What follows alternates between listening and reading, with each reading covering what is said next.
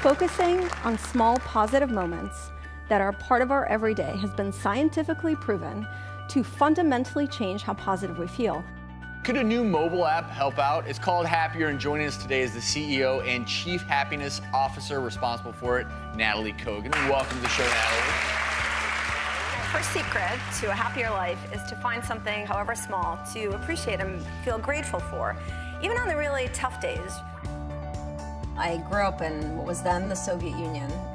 My parents and I escaped in 1989 to the United States.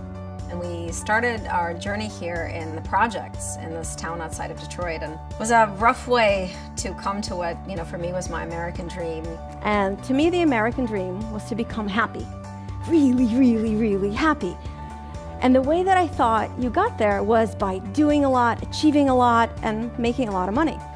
I tried all that, didn't make me happy, and so I turned to research and science and happiness, and what I learned really shifted my perspective.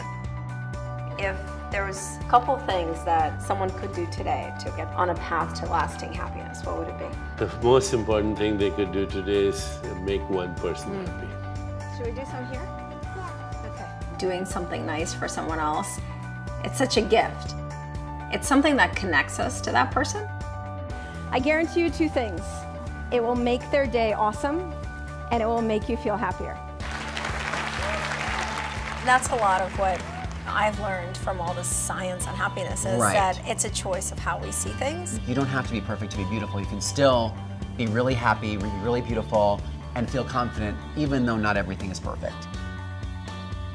Connecting with other people and sharing these positive experiences with them and helping them create them in their own lives inspired me to create Happier. We have one mission to help people to stop saying, I'll be happy when, and start saying, I'm happier now because.